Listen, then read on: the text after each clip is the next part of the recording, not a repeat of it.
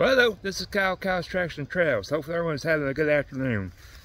Um, I'm just out here exploring real quick because I'm looking for a spot to put my hot tent.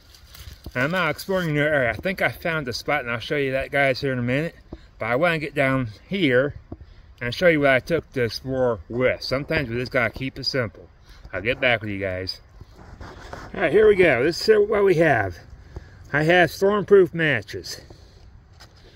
Black and White Firestar Stormproof match. Most of my fire kits fire is from um, Black and White Firestar. I have cordage.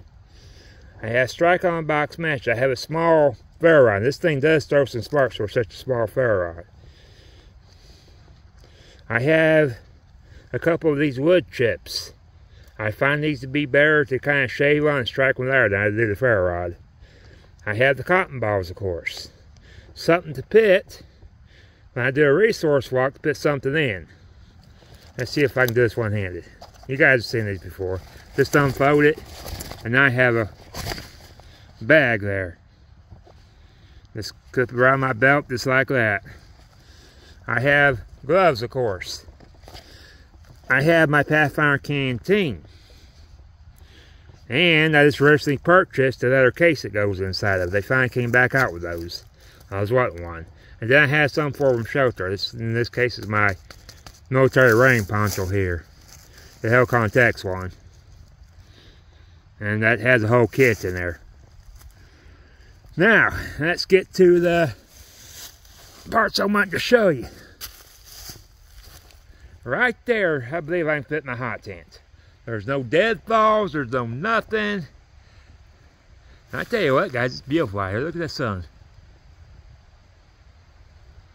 Where'd it go? There we go. Can't really see it on my phone.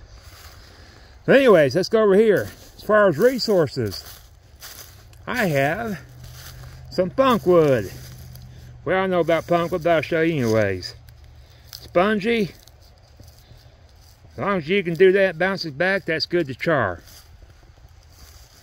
Over here,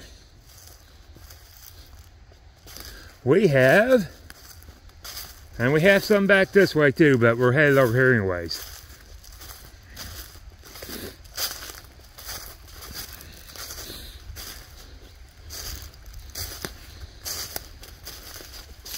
We have all kinds of birch bark. I mean, it's just hanging there, waiting to be peeled off there. And there's another one right there. There's one over there, which I might pick on that one, I like the way it looks with the birch bark. It's thinner. And then I think we have one or two back this way. Um, as far as water is concerned, now I didn't know it was there. It's my first time being back this way. We have water. Got a small creek here. No fish in it. Might be frogs, I don't know. I haven't really, I've never been up in here. Now, there's a house right there. That might be their land. I believe from what my girlfriend was telling me, our house is somewhere up in here. So I'm pretty sure I'm on her land. At least we'll find out. Um, then you come over here. I still have to deal with the railroad tracks, which we're going to explore this creek sooner. Because I want, there's a river back this way I want to explore. Plus there might be other spots to camp there. And another thing we got as far as Flames resources, look at the firewood. All kinds of down stuff. I was kind of worried about this spot when I saw the down stuff, but in the area where I was shown, I like to set my hot tent. Nothing. We're good there.